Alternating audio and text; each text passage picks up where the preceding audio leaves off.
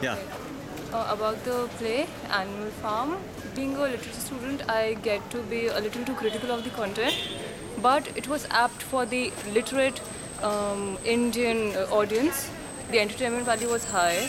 Some actors were really good, some were in the learning process, but none of them were disappointing. Acting was really fine.